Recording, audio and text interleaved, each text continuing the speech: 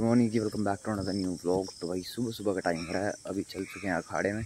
आपको दिखाते हैं क्योंकि काफ़ी टाइम बाद जा रहे हैं। और रोड बिल्कुल सुनसान पड़ा है भाई। नहीं यार, जा रहे हैं, मंदिर भी जा रहे हैं लोग। चलो चलते हैं अखाड़े में, मिलते हैं आपको पहुँच के।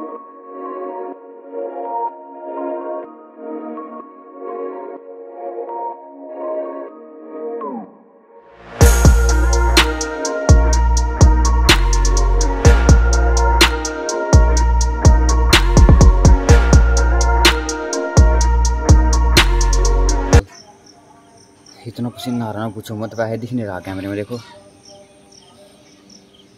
देखिए या नहीं बट फिर बहुत गर्मी है। गर्मी भी है कुछ, भाई पसीना तो आ ही जाता है एक्सरसाइज करते ऐसे कोई बत के यहाँ पे। बाकी ये देखो भाई अपना खड़ा। यहाँ पर एक्सरसाइज करने वाली मशीनें हैं। इक्विपमेंट रखे हैं सारे।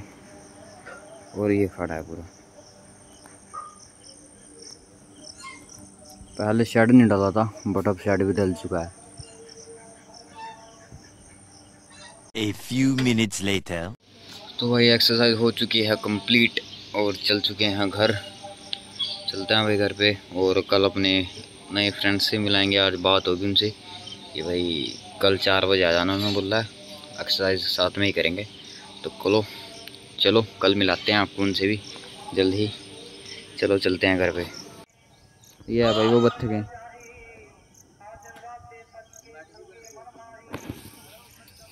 भाई साहब खतरनाक।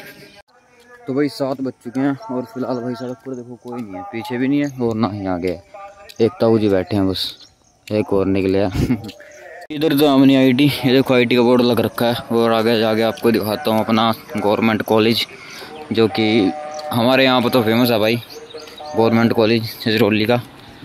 काजल माजरा है ये। ये भाई साहब।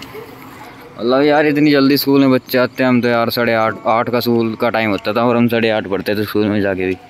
ये देखो, ये है कॉलेज